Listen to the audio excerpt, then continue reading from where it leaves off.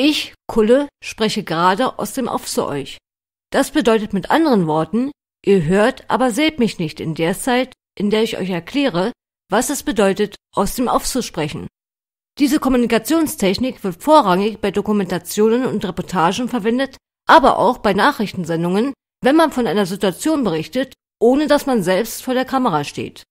Auch bei Filmproduktionen findet die Off-Technik recht häufig ihren Einsatz. Beispielsweise, wenn man Familienchroniken produziert. Denn dort ist es nicht selten der Fall, dass kurz nach dem Vorspann zum Film eine Stimme erklingt, die sich an vergangene Zeiten erinnert, was man somit als Prolog verstehen kann, bevor die eigentliche Handlung, sprich die Erinnerung, in Bildern fortgesetzt wird.